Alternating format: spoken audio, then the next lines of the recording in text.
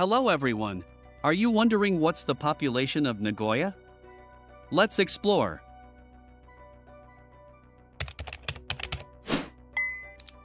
Nagoya, a major city in central Japan, has a metro area population of 9,557,000 people, making it the 40th most populous city in the world.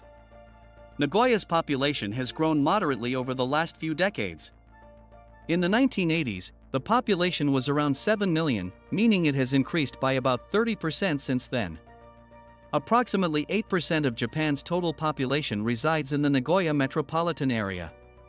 To put Nagoya's population into perspective, it is comparable to the population of Sweden, which is around 10 million.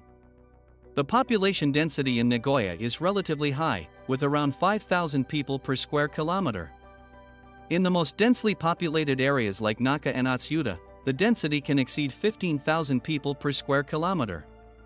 Nagoya's demographic profile is relatively balanced in terms of age and gender, with a median age in the early 40s.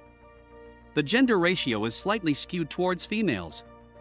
Ethnically, Nagoya is predominantly Japanese, with a small percentage of foreign residents, primarily from Korea, China, and the Philippines.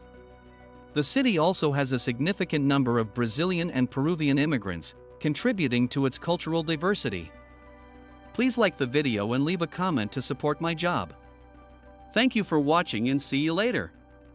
Goodbye.